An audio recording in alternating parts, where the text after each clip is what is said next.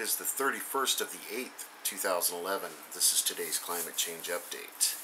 I'm going to make it quick tonight. It's late. I worked.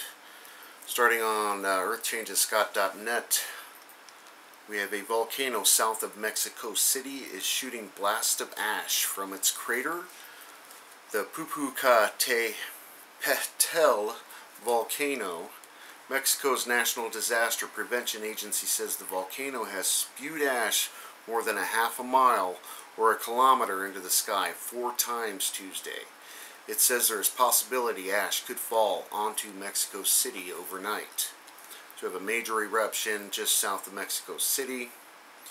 We got a uh, story extreme 2010 Russian fires and Pakistan floods linked to meteorology. Uh, the research finds the same large-scale meteorological event, an abnormal Rossby wave, sparked extreme heat and persistent wildfires in Russia, as well as a unusual downstream wind patterns that shifted rainfall in the Indian monsoon region and fueled heavy flooding in Pakistan. And uh, Mount Etna in Sicily puts on a natural fireworks show. They have video of this. She's definitely uh, popping off some lava pretty good. Britain's summer, coolest in nearly 20 years. And uh, with them finding that new cold current coming down um, by Ireland, uh, that's no surprise at all. Typhoon Nanmadol leaves 16 dead in the Philippines, and that it's on its way to China.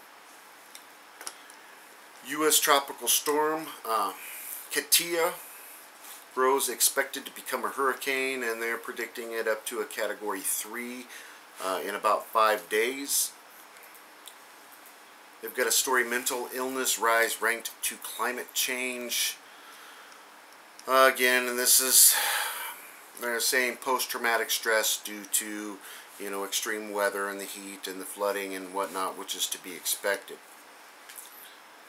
The Banda Sea earthquake, magnitude 6.8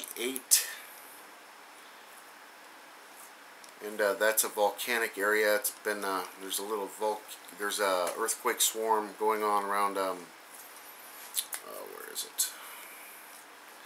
Vanuatu. Hundreds stranded in Vermont amid epic flooding, and again Irene just dumped in on the New England of the United States and just extensive flooding and damage going on. Still people without power. Uh, they're talking for weeks yet to come and another hurricane brewing in the Atlantic. Um, definitely serious situation. And uh, the Russian uh, volcano story I put out yesterday is disrupting air traffic, which is uh, they fly over, you know, around Alaska. The international flights were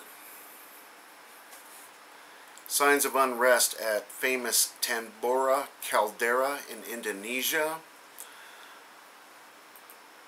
Uh, eruptions under Martin pointing to a new report Indonesian from the Volcanology Survey in Indonesia that raises the alert level of one of Indonesia's most famous volcanoes, Tambora. Now, many of you volcano enthusiasts would remember Tambora from 1815 when it produced one of the largest eruptions in the past few thousand years.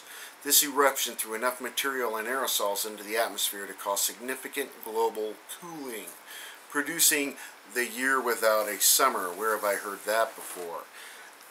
Katla, which is having um, its activity as well underneath its glacier. And they got the Katia or Katia story. And uh, yeah, here's that story.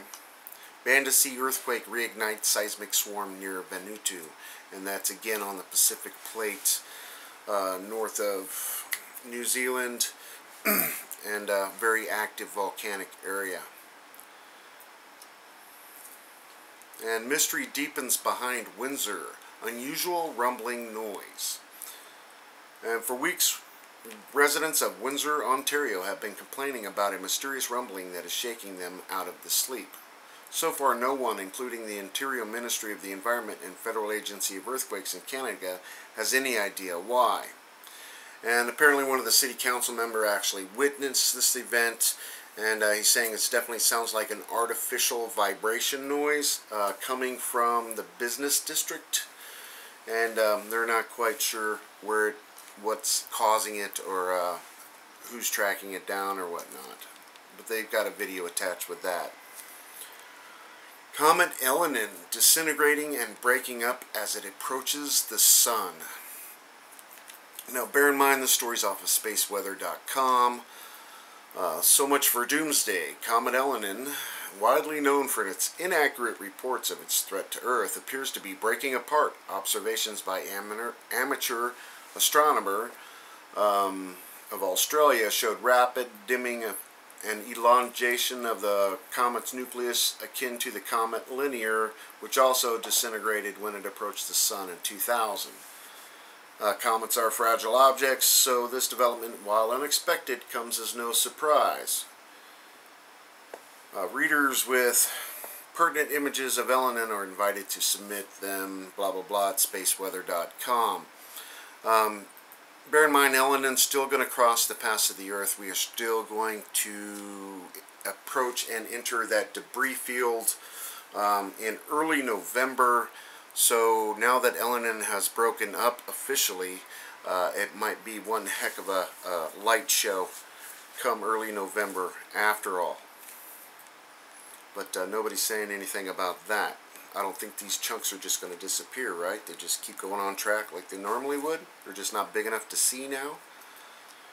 And Typhoon Nanmadol drops 20 inches of rain on Taiwan, leaves 16 dead in the Philippines, and of course, like I said, it's on its way to China.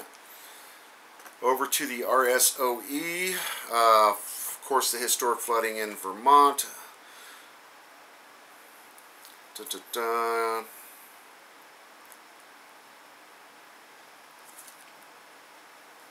Have forest fire in Montana in the, the Bitterroot National Forest. That is about it for me tonight. Of course, uh, if I forgot anything, please leave your comments below or attach your videos, of course. Um, enjoy what you can, and I'll see you next time. Thanks.